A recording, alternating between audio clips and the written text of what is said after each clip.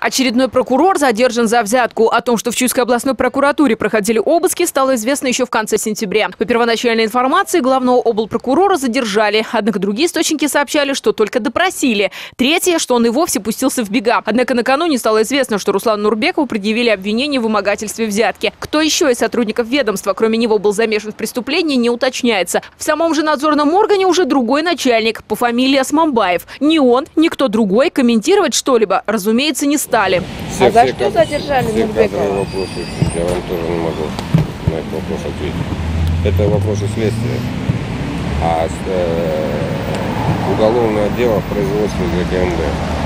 Понятно, что идет следствие, однако хотя бы подтвердить сам факт заключения под стражу подозреваемого правоохранительные органы должны бы, но Генпрокуратура и ГКНБ молчат. Может, предполагают эксперты, чтобы говорить, надо привести неоспоримые факты. Это зависит от того, взял ли он взятку или только собирался. Так вот, по некоторым данным, слежка за Нурбековым шла давно, но не факт, что его взяли с поличным. И, возможно, он узнал о наличии видеооборудования, которое было установлено в его кабинете. Но того, что успелось записать, было вполне достаточно для проведения обыска, допроса и задержания. Э, Ну, детали я не хочу раскрывать, я их знаю, ну, потому что это идет следствие. Но я вам сейчас скажу о том, что это была работа долгая, она была с применением всех специальных технических средств, проводилась прослушка.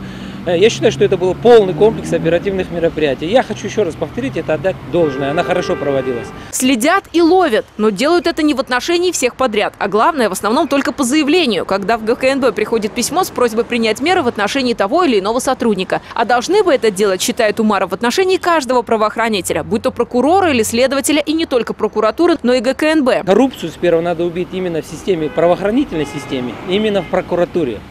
И если по сути взять, если вот это специальное устройство, нам провести вот этот комплекс оперативных мероприятий в отношении всех районных прокуроров, областных и не только прокуроров, всех правоохранительных, я вам сейчас скажу, тема одна и та же. Все так же это и будет.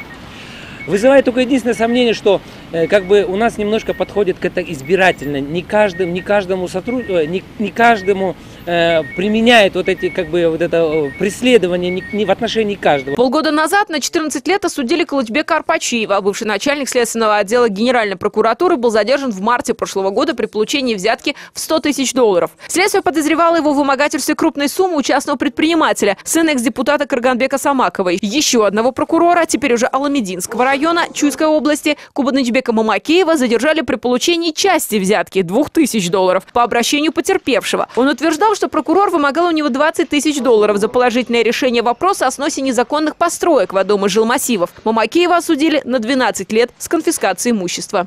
Елена Яковлева, Алтынбек Каныбек Улу, НТС.